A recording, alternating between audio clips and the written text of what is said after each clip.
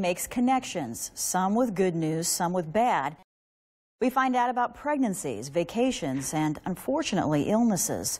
When a healthy Lincoln mom posted about her cancer diagnosis, it caught her friends off guard. Even more surprising was the strange diagnosis for such a healthy 46-year-old. In this special report, I share a story of my former college roommate and her path to recovery from appendix cancer.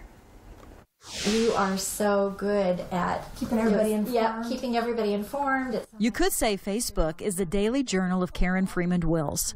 This active Lincoln mom of two posts about her family, what musicals she's performing in, even what she eats every day. That's my thing. I like a little hashtag just to kind of carry the story along.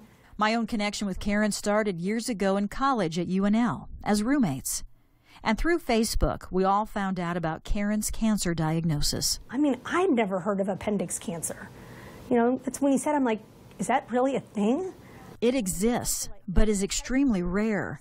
Only 500 to 800 people in the U.S. are diagnosed each year with this low grade appendix cancer.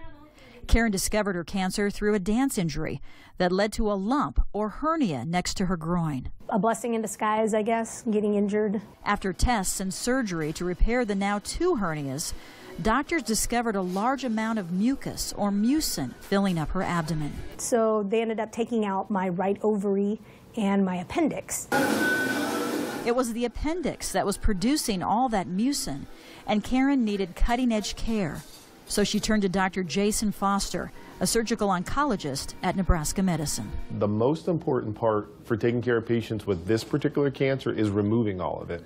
These tumors can kind of escape into every corner of your abdomen, so you need to be fairly meticulous. He says he thinks he scraped like four pounds of it out.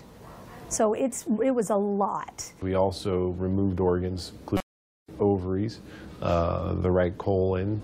Um, we took some of the inner lining of the abdomen was stripped. But the work wasn't done yet. For Karen's appendix cancer, Dr. Foster used a treatment called hot chemo, and the Buffett Cancer Center here in Omaha is one of the few places in the country to do the procedure. It treats the tumor by delivering this high-dose chemo directly to the cell in the abdominal cavity and sense engulfing it. The other thing is we found is that cancer cells are very thermally sensitive and the heat is another mechanism to kill cells. Dr. Foster says Karen's prognosis is good and Karen is now home, healing and continuing to spread her story on social media, now with the hashtag appendix cancer. I'm hoping somebody will get diagnosed, see me, and contact me and say, what do I do? And I'll say, go see Dr. Jason Foster. Taryn Vanderford, 1011 Now. And you know, guys, uh, Karen has already gotten her message out about appendix cancer through social media and her coverage of her story. Cindy Sorensen commented on Facebook, I live in Lincoln and also have appendix cancer or PMP. Thank you for bringing awareness to this rare cancer. Karen, we need to meet up sometime. And then, of course, Karen responded. She's so fast to do this. I sent you a friend request.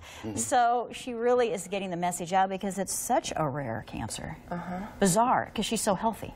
so bizarre. And, and yeah. of course, we hear about the bad side of social media, but I love this mm -hmm. story because mm -hmm. it shows the good side and, and what difference it can make. And I think it's important that you, you, know, you bring it to light because you just never hear of appendix cancer. And some people just might say, oh, it's just a pain, I'm not going to worry about it, and then it mm -hmm. gets mm-hmm. worse and worse. Yeah. So. Well, Audrey Hepburn had it. Stuart mm. Scott on ESPN. Yeah. You know, those are some cases, but it doesn't come out that often. So Karen's doing well. I visited with her Monday, so happy to see Great.